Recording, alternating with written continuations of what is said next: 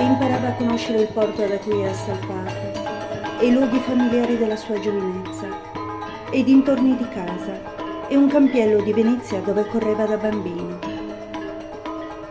A questo punto Kublai Khan lo interrompeva o immaginava di interrompere.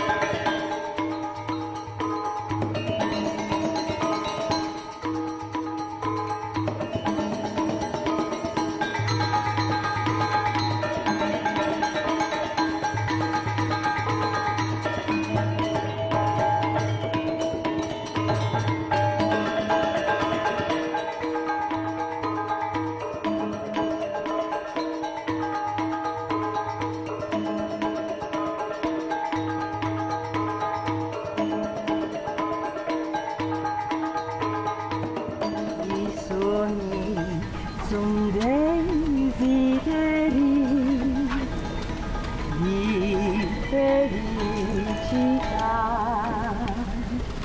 Nel sonno non hai pensieri, ti esprimi in sincerità.